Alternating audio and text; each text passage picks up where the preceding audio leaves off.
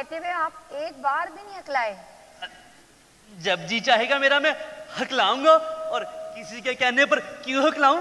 मैं क्या कोई हक हक हकलाऊं?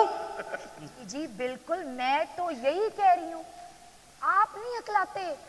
हाँ हकलाते हैं। ये योना ठीक तो कह रही हैं। आप कहाँ हक लाते हैं?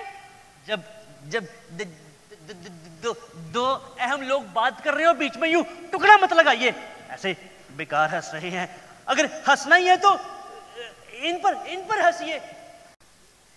कल एक नाकिद गालिब ने मुझसे ये पूछा कल एक नाकिद गालिब ने मुझसे ये पूछा कि कदरे गालिब मरहूम का सबब क्या है? मुझे बताओ कि दीवाने हज़रत गालिब कलाम पाक है, इंजील है कि गीता है? तो फिर ये गालिब मरहूम ही की बरसी क्यों? मुझे बताओ मुझे बताओ कि इनमें खसूसियत क्या है?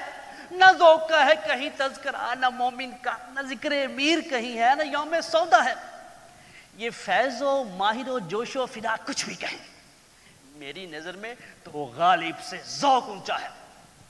ये रंग लाई है गालिब की पार्टी बंदी कि आज सारे जहाँ में उसी का चर्चा है।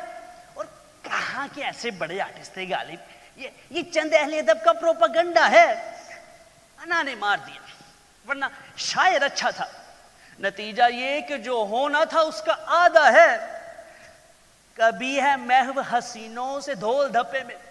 कभी किसी का वो सोते में बोसा लेता है। और जो कह रहे हैं गालिब है फलसफी शायर। मुझे बताओ मुझे बताओ कि बोसे में फलसफा क्या है। जहाँ रकम की तवक्को हुई कसीदा कहा। तुम ही कहो कि ये मयारे शायरी क्या है। ये ये मैं नहीं दिलावर फिगार ने लिखा है।